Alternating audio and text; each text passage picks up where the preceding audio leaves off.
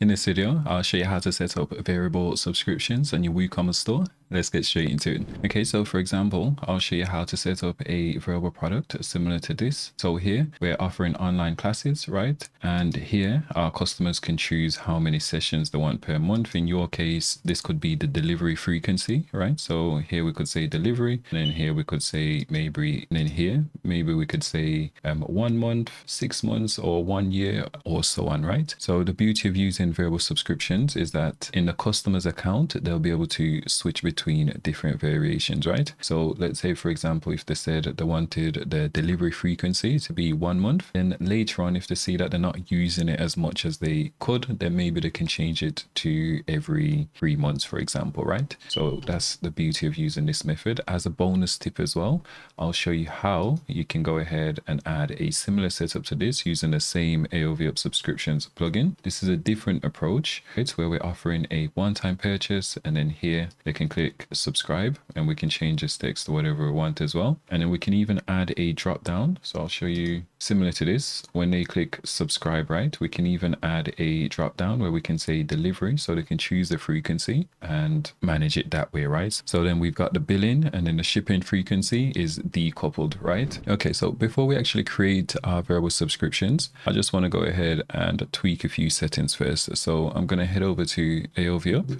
and then subscriptions Okay, and then straight away here, we want to go ahead and allow users to switch between variable subscriptions, right? We can choose whether we want to prorate the recurring payment method. I'm just going to leave mine to never. Can choose the prorated, meaning if they're halfway through the month and the billing's done um, at the first of every month, we can calculate the daily payment and then essentially just charge them. Um, so let's say, for example, if they're midway through their subscription and they upgrade to a higher plan, then all we'll do is let's say the higher plan was a hundred dollars a month, right? And they're halfway through the billing cycle. If they upgrade, instead of charging them that hundred dollars, we'll just charge them fifty dollars. And then on the next renewal, we'll charge them the full amount of a hundred dollars, right? So how you handle this is totally up to you. I'm just gonna set it to never, meaning if they choose to upgrade, they're just gonna pay that fee upfront, right? The sign up fee, here we can choose not to prorate it, right? Or we can charge the full sign-up fee, or we can always prorate it, right?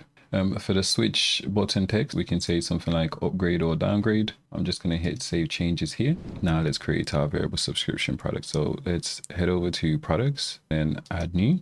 So let's say we're selling a subscription box, right? Which is monthly socks. So we'll just say socks and then we'll scroll down and then here where it says product data, we just want to go ahead and choose variable subscription. Let's navigate over to attributes, right? We'll add our attribute here. So for example, we could say how you set this up is totally up to you. So for example, here, since it's a monthly socks club, we can allow them to choose the colors, for example, right? So we could probably say something like color, and we could say red, add a separator, and then probably yellow, right? So we can go with that approach, but I'm going to take a different approach. I'm going to use this as our delivery option. This isn't the best approach, but I'll show you a better approach in a second, right? So we'll say delivery, and then we can say one month, right? And then we could say three months, and then maybe um, six months, right?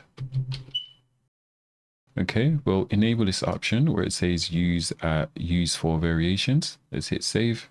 Okay, and that's saved fine. So we'll head over to variations now, and then we'll just click generate variations and then okay. All right, so for one month, let's click on this. We're going to add our subscription price here. So let's say it's $15 for one month, right? And then this is bill every month. Okay, everything else looks fine. So we won't cancel the subscription after a specific time period. We'll allow the customer to cancel it when they want to, right? And we won't add any sign up fee. For the stock management this is up to you how you want to control this. We can set it to in stock or if we click on this option here to manage stock we can go ahead and choose the quantity right? Um, so again that's totally up to you.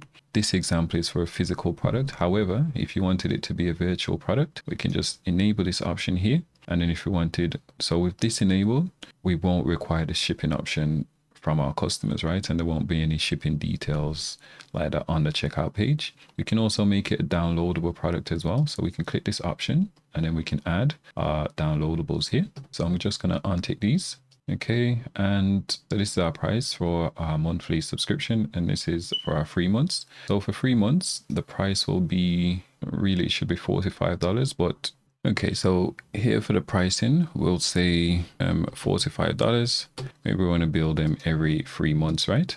Okay, so the only issue with this approach, using it as a delivery method, is the customer will be billed. So this is the appropriate price. They'll be billed every three months, which is fine. The only issue is that in the back end, every month, so leading up to that three month point, we won't see that order being generated every month, right? So we won't necessarily know when to ship this order, right? I'll show you a different approach in a second, but this is the limitation. But let's stick with this example for now.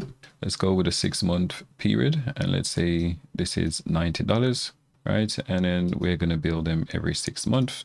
Okay, let's hit save changes and let's go ahead and publish this and let's view product. All right, and then here they can choose their delivery options, right? So we can say one month, right? And the price is changing accordingly. And then we can subscribe and then just go through the checkout process. So I don't want to actually, okay, so let's attempt to check out. It should fail, yeah, which is fine. Okay, so that's fine. Now let's head over to my account. Let's go orders. Sorry, let's go subscription. Okay, and let's view the subscription. Okay, so this is one approach. Let's go ahead and see how we can add a auto ship option to a standard product. So they can pay a one-time fee or they can hit subscribe and save and then we should be able to control the shipping frequency as well. So let's head back over to our dashboard. Let's create a new product. Right, this time I'm going to say new socks just so we know which product it is. And we're going to leave this as a simple product. We're going to put the price here. So this is $15 a month. This is $15 for the box, right? I'm going to add a new category. I'm going to say socks add this okay and now let's hit publish all right when we view the product it since it's just a regular product nothing will change but we'll it'll make sense in a second Okay, so this is how it looks currently. So now let's head back over to our dashboard. Let's navigate over to AOV Up subscriptions. Then we'll navigate over to plans. Okay, and then we'll create a new plan. We'll give this a name. So we'll say for socks. This is just for internal purposes. So for the subscribe and save text, we'll just say auto ship and then we'll say purchase options. Okay, and then for the frequency, here we'll say delivery, right? And then we'll add a new plan. Okay, and this is shipped monthly. And then for the display name, we'll say monthly. Well, we can give a discount, right? To encourage um, customers to actually go with this option. But let's ignore the discount for now. Let's add another plan. And in here, we'll say the interval is every three months. And in here, we'll say three months, right?